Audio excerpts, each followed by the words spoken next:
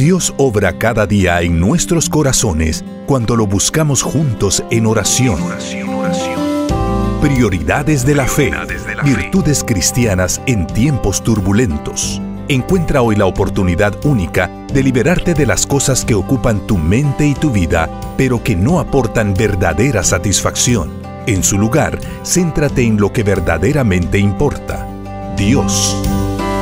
Vivamos juntos los 10 días de oración en Unión Radio, iniciativa mundial de la Iglesia Adventista del Séptimo Día.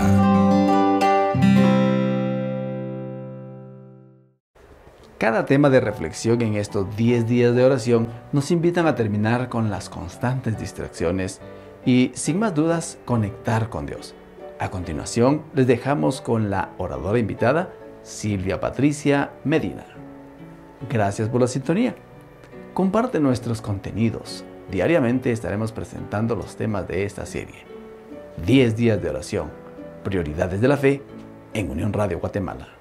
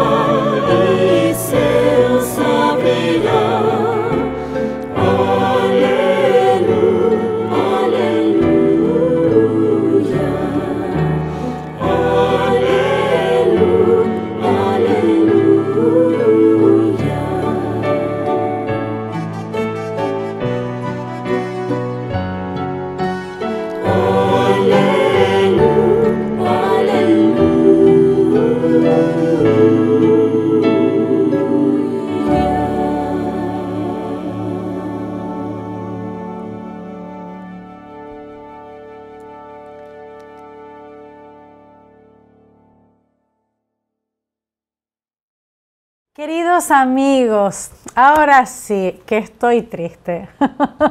Llegamos a nuestro último día de los 10 días de oración. Qué oportunidad tan hermosa tuvimos, de verdad, de poder volver a traer a nuestra vida lo que es las prioridades. ¿Qué es la prioridad? ¿Cuáles son las prioridades de nuestra fe? ¿Será que hay ciertas cosas que tenemos que alcanzar para que nuestra vida espiritual nuestra vida devocional, nuestra vida de oración vuelva a ser lo más importante de nuestra vida, es lo que hemos estado estudiando durante todos estos 10 días de oración, que pidiéndole a Dios que nos ayude a que nosotros podamos hacer de estas cosas que hemos estudiado, el descanso, la comunión, la oración, vuelvan a ser realmente nuestra prioridad. Así que en el día de hoy vamos a estar eh, compartiendo ya este último tema de estos 10 temas que han sido primeramente para mí han sido de gran bendición, han renovado mi mente, han renovado mi pasión, me han eh, motivado a ser más persistente en la oración, en, mis pedidos. Así que en el día de hoy vamos a hablar acerca de algo que, mm, que es bastante interesante luego de todo lo que hemos vivido después de una pandemia. Y el título del tema del día de hoy se titula sé rico en lo que importa, sé más análogo. ¿Qué será lo que más importa? Y es que la espiritualidad bíblica es analógica, no es digital. Se basa en prácticas personales y tangibles entre personas reales que podemos tocar y el Dios vivo que no podemos tocar. Las cosas tangibles son por naturaleza analógicas, no virtuales. Aunque el Dios de la vida es invisible al ojo humano, nos ha llamado a practicar cosas muy analógicas, muy específicas, que expresan nuestra relación con Él. Por ejemplo, nuestras obras, las cosas que hacemos, las cosas prácticas que hacemos por Dios o por, por, otros seres humanos, por las personas que nos rodean, son siempre de carácter analógico. O pensemos en la observancia del sábado. Santificar el sábado implica varias prácticas analógicas. El descanso del sábado requiere adoración, descansar de nuestras actividades y tomar también decisiones que reflejen la santidad del sábado nunca se va a tratar de una experiencia virtual, siempre es analógica. Lo mismo también ocurre con las experiencias de adoración en comunión con seres humanos reales en la iglesia los sábados por la mañana. Sin igual, es una experiencia sin igual. Y aunque ya sabemos que es posible que nos podamos unir a un servicio de culto digital a través de la internet, la experiencia de culto definitivamente encuentra su plenitud en la participación con personas reales en lugares físicos. La pandemia global provocada por el COVID-19 alteró drásticamente nuestra forma de vida, transformando la manera en la que nos relacionábamos, en la que trabajábamos, incluso cuando compartíamos experiencias.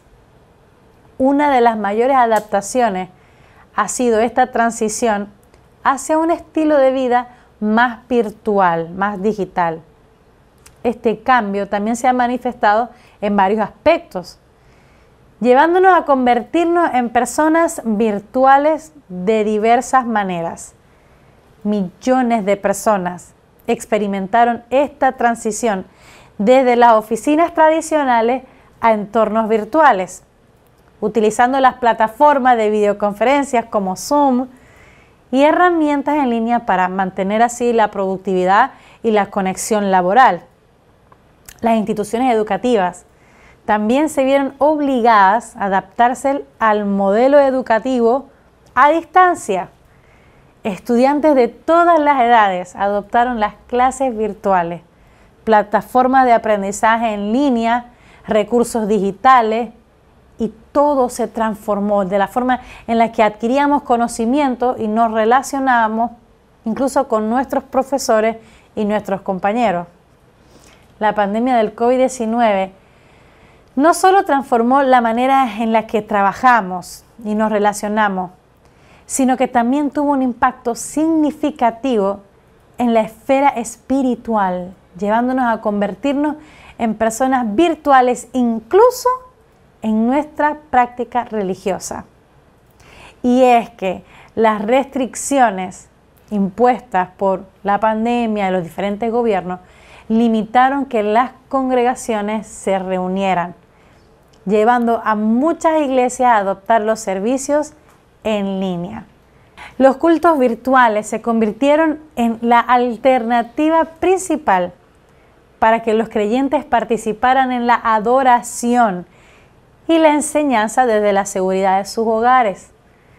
Seguramente tú experimentaste esto. El lado positivo de la virtualización de los servicios religiosos fue que amplió el alcance de las congregaciones personas de todo el mundo pudieron unirse a cultos en línea, permitiendo así una comunidad global que trasciende las fronteras geográficas y conecta a los creyentes de diferentes regiones.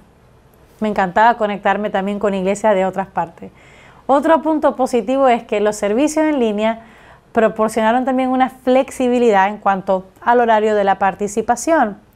Muchos podíamos ver los sermones retransmitidos También muchos pudieron acceder a los, cultos, virtuales en diferentes momentos del día, adaptándose a sus horarios, compromisos personales, de una manera que la asistencia física a la iglesia no siempre va a permitir. Me encantaba, bueno, canté muchas veces también por Zoom en muchas partes, así que fue muy bueno, pero la pandemia nos llevó a eso, a convertirnos en personas virtuales, incluso en nuestra vida religiosa. Aunque la experiencia de ir a la iglesia cambió, la adaptación a la plataforma en línea permitió a los creyentes que pudiésemos mantener esta conexión espiritual, encontrar nuevas formas de expresar nuestra fe en una realidad virtual, estuvo muy bueno. Sin embargo, aunque se gana en lo virtual, se pierde demasiado también.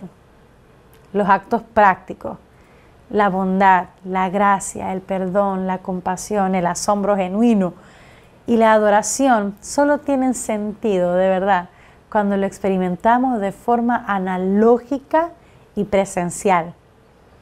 Ninguna realidad virtual puede reemplazar o superar un toque humano, un beso, una mano amiga, el consuelo de un abrazo sincero, la alegría de una risa sentida físicamente o la firmeza de un apretón de manos ese abrazo de las personas en la recepción de la iglesia que siempre te dan cuando uno está entrando. Nada de eso se puede reemplazar. No se puede celebrar virtualmente la práctica de los lavatorios de los pies o comer y beber los emblemas de la comunión. Los que Jesús ha instituido a través de su propio ejemplo, debemos de recordarlo físicamente de una manera que podamos siempre tocar y saborear. Incluso la práctica de la oración y el ayuno, fomentada en toda la escritura, es un acto analógico en el tiempo y el espacio. En el libro de Hebreos capítulo 10, del 24 al 25, leemos lo siguiente. Y considerémonos unos a otros para estimularnos en amor y en las buenas obras, no dejando de congregarnos como algunos tienen por costumbre, sino exhortándonos y tanto más cuanto veis que aquel día se acerca. Aquí encontramos un llamado profundo y significativo a la comunión fraternal entre nosotros los creyentes. Este pasaje nos insta a considerarnos los unos a los otros para estimularnos en amor y a las buenas obras a no abandonar el hecho de reunirnos, sino que nos podamos animar mutuamente. Reflexionemos sobre la belleza y la relevancia de este llamado en nuestra vida cristiana. Ahora bien, después de haber vivido todo lo que vivimos en la pandemia, después de todos los cambios digitales y todas las nuevas formas de reunirnos, ¿por qué entonces deberíamos congregarnos? Retornar y mantener la presencialidad en nuestros cultos en la iglesia? Bien, voy a compartir contigo razones por las cuales congregarnos resulta vital para nuestras vidas espirituales. La presencialidad en los cultos nos va a permitir una comunión más profunda entre los que creemos. La imagen bíblica del cuerpo de Cristo destaca la importancia de cada miembro. Al congregarnos vamos a experimentar la unidad en la diversidad. Vamos a fortalecer esos lazos que nos unen como una sola comunidad de fe. Otra de las razones es que la adoración colectiva en un espacio físico tiene un impacto único en nuestra espiritualidad individual y también comunitaria.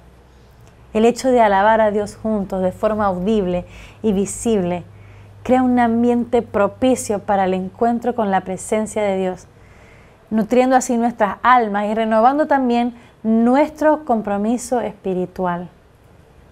Otra de las razones es que la Biblia, las enseñanzas de la Biblia, cobra vida de manera especial cuando se comparte en comunidad. El intercambio de ideas, de preguntas y reflexiones en un entorno donde podemos estar juntos enriquece nuestra comprensión de las escrituras. La interacción cara a cara promueve un aprendizaje más profundo y un crecimiento espiritual que podemos compartir. Otra de las razones es que la presencialidad en los cultos nos permite que la oración sea colectiva, que también es un elemento vital para nosotros. La unión de nuestros corazones y de todas las voces, elevando peticiones, haciendo agradecimiento, todo eso fortalece nuestra fe, crea un ambiente de intimidad con Dios. También la realización del bautismo y la cena del Señor cobra una dimensión especial en un contexto presencial. Estos actos sagrados no solamente son símbolos individuales, sino que son experiencias que podemos compartir, que refuerzan nuestra identidad como pueblo de Dios. La presencialidad en los cultos también proporciona oportunidades para fortalecer nuestras relaciones personales, el contacto visual, los abrazos que mencionábamos, las conversaciones después del culto, incluso quedarnos a comer, desarrollar nuestras amistades, crear una red de apoyo, todo eso son esenciales para nuestra vida. Congregarnos físicamente refuerza nuestra responsabilidad también comunitaria. En la presencia unos de otros somos capaces de cuidarnos mutuamente, brindar apoyo en tiempos difíciles y celebrar juntos los logros también alcanzados. La iglesia entonces se convierte en una familia que comparte la vida en su totalidad. En conclusión, queridos amigos, congregarnos en nuestros cultos en las iglesias no solamente es una práctica arraigada en la tradición cristiana, sino que es una expresión viva de nuestra fe. La presencia física en la comunidad de fe va más allá de la mera asistencia. Es un compromiso activo con la adoración, la enseñanza, la oración y compartir esta vida que Dios nos ha dado. La vida cristiana no está destinada a ser vivida en aislamiento. Dios nos ha creado para vivir en comunidad y la comunión fraternal se convierte en un catalizador para estimularnos al amor. Cuando compartimos nuestras vidas, experiencias y desafíos, creamos un entorno donde el amor de Cristo puede florecer y manifestarse de manera tangible. La comunión entre nosotros va más allá de las palabras, se manifiesta en acciones concretas cuando nos reunimos como creyentes en una comunidad, encontramos también oportunidades para estimularnos a llevar buenas obras, a realizar buenas obras. La inspiración mutua nos impulsa a ser agentes de cambio y testimonios vivientes del amor y la gracia de Dios. En un mundo que cada vez es más individualista, esta exhortación del libro de Hebreos cobra una importancia significativa. La comunión en la iglesia no es, solo, no es un rito, sino es un acto de obediencia que nos sostiene y nos nutre en nuestro caminar con Dios. Cuando compartimos nuestras luchas, nuestros triunfos, ofrecemos consuelo, sabiduría, apoyo espiritual. La exhortación mutua no solo nos fortalece a quien la recibe, sino que también enriquece al que la ofrece, creando así esta red de apoyo que refleja el amor de Cristo. En última instancia, la comunión análoga es el reflejo de la unidad que Cristo quiere para su iglesia. Cuando nos reunimos, compartimos, nos animamos, nos estimulamos, construimos una comunidad que refleja la diversidad y la belleza del cuerpo de nuestro Dios. Es en esta unidad que experimentamos un anticipo del cielo, donde la comunión será eterna y perfecta. La espiritualidad análoga entonces se sumerge en la comprensión de que los elementos visibles del mundo material pueden ilustrar y apuntar hacia realidades espirituales. Jesús mismo empleó parábolas, que son formas analógicas de enseñanza, para poder así comunicar verdades espirituales de manera accesible y significativa para sus seguidores. Nuestra fe en Dios tiene siempre una dimensión analógica en la que se hace visible.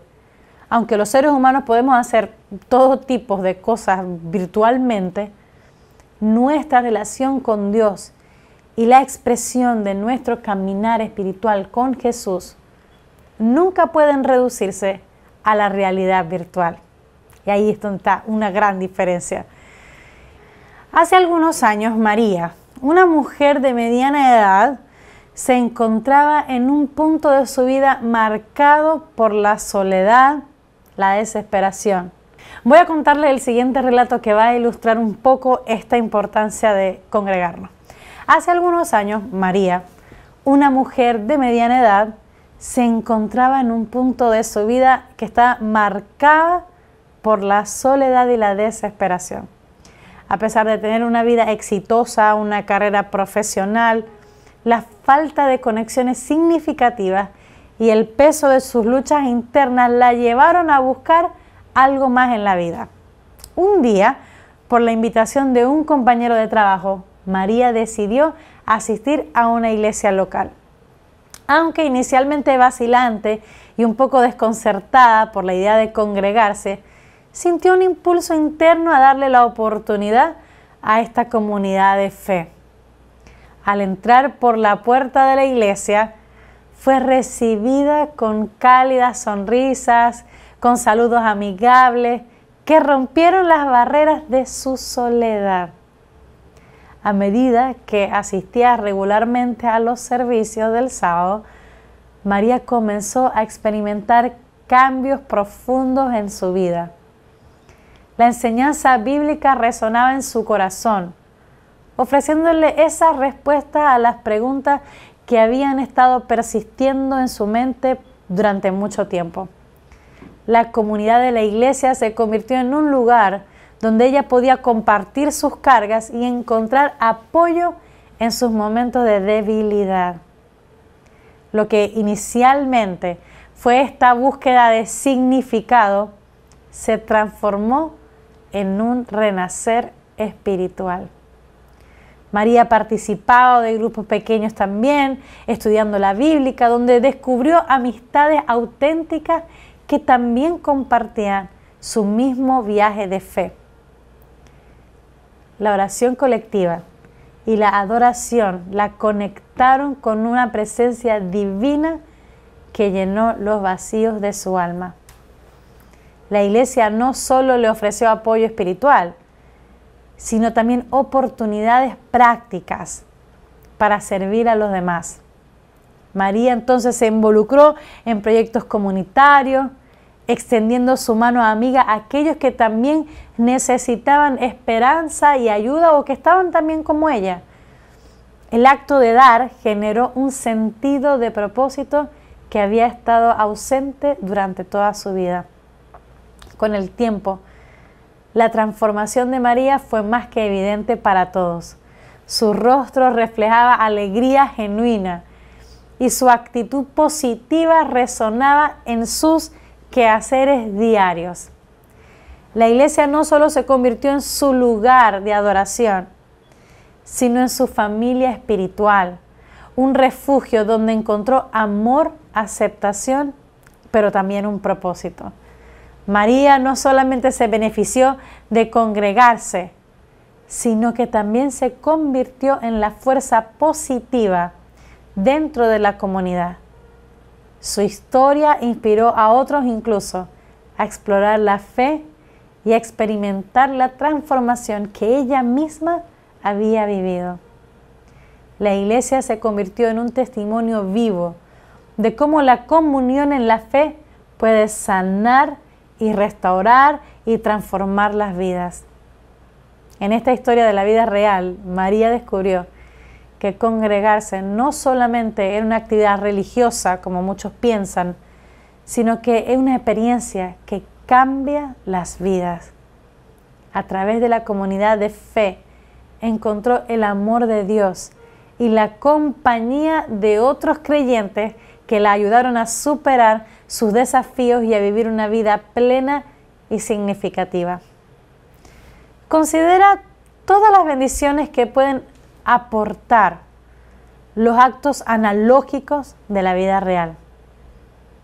Esa mano amiga, un apoyo de una necesidad tangible, una caricia suave que indica no estás solo, o el valor de una postal o una carta escrita a mano, la extensión de perdón, la gracia inmerecida que dan a, un lugar, a, lugar a, una, a una relación transformadora, el compartir la comida con los que tienen hambre, la experiencia de la hospitalidad por parte de los que viajan y no tienen dónde alojarse.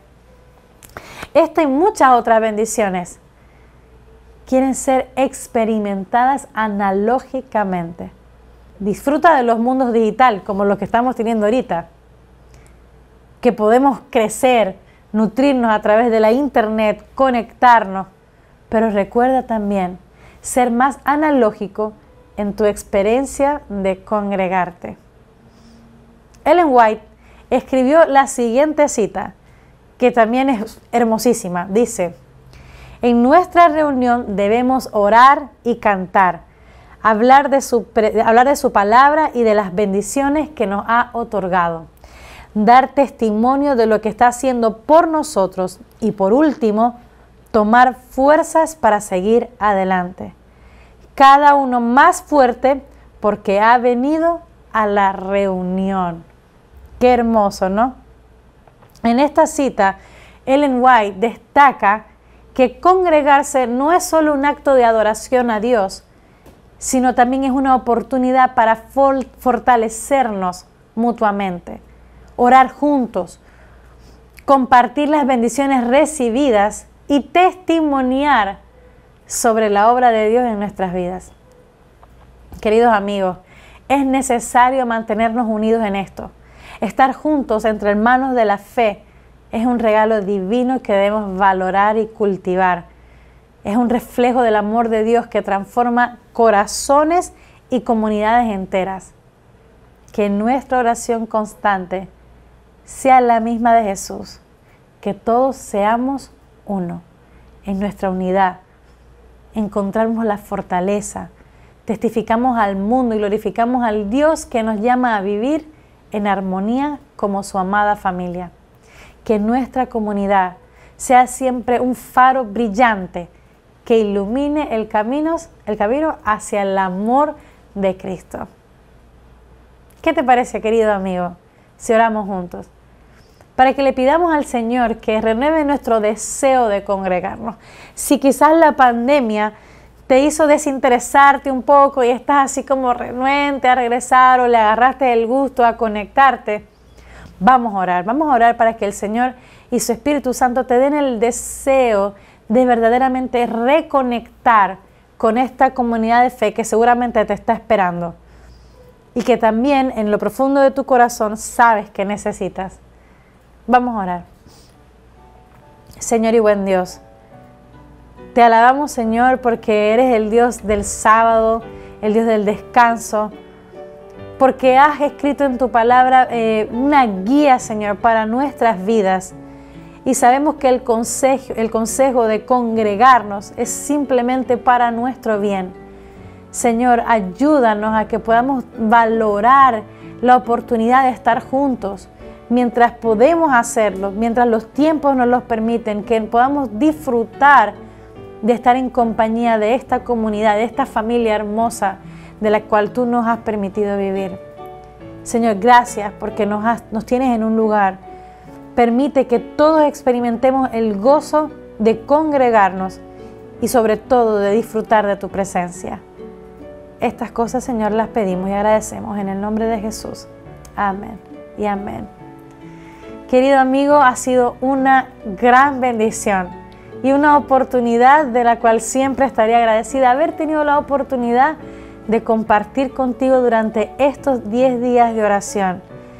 Mi deseo y mi oración es que el Señor te haya bendecido y que hayas recibido un manantial de agua fresca a través de estos, de estos mensajes, de estas oraciones y que te sientas renovado en el Espíritu del Señor y en el nombre del Señor para comenzar a hacer cambios y poner claras las prioridades que debes tener para mantener viva tu fe las prioridades que debes mantener vivas en tu relación con Dios y los cambios que debes de hacer para alcanzar una mejor comunión con Él.